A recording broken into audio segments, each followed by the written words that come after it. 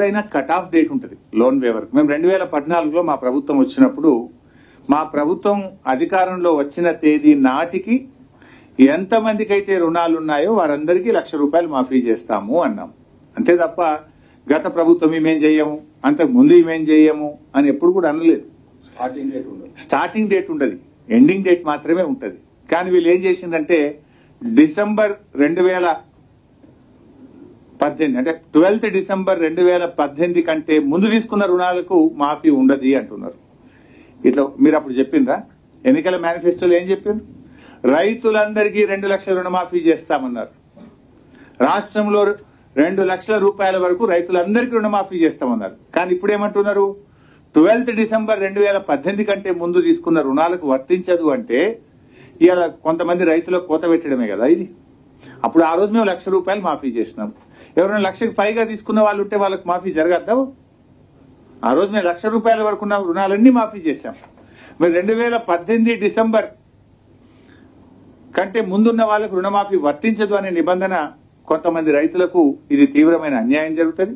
ఇది కోతలు పెట్టే కార్యక్రమం తప్ప మానవత దృక్పథంతో రైతులందరికీ సాయం చేసేటువంటిది కాదు అని చెప్పి దీన్ని కూడా ఉపసంహరించుకోవాలి. మీరు పెట్టిన కట్ ఆఫ్ డేట్ మీ ప్రభుత్వం అధికారంలో వచ్చిన నాటికి పెట్టండి. కానీ ముందు డేట్ పెట్టడం అనేది ఎక్కడ కూడా ఈ రుణమాఫీలో ఇట్లాంటిది గతంలో లేదు. ఇది మీరు కొంతమంది రైతులు ఇబ్బంది పెట్టేటువంటి ప్రయత్నం చేశారు. తర్వాత ఇంకోటి ఏమన్నారంటే అసలు వడ్డీ కలిపి రెండు లక్షల రూపాయలు మాఫీ చేస్తామని చెప్పింది ప్రభుత్వం. కానీ మీరు ఇచ్చిన డేట్ ఏంది? డిసెంబర్ తొమ్మిది రెండు వేల ఇరవై మూడు నాడు మొదటి సంతకం పెట్టి రుణమాఫీ చేస్తామన్నారు. ఇప్పుడు మనం ఉన్నది జూలై నెలలో ఉన్నాం. మీ మొత్తం మాఫీ ఎవరికి ఎప్పుడు వస్తుందో తెలియదు. నువ్వు డిసెంబర్ తొమ్మిది నాడే చేస్తే డిసెంబర్ తొమ్మిది నుంచి జూలై వరకు వడ్డీ భారం రైతు మీద పడేది కాదు కదా? ఈ ఎనిమిది నెలల కాలానికి వడ్డీ భారం రైతు ఎందుకు భరించాలి? మీరు ఇచ్చిన మాట తప్పుతున్నారు కదా?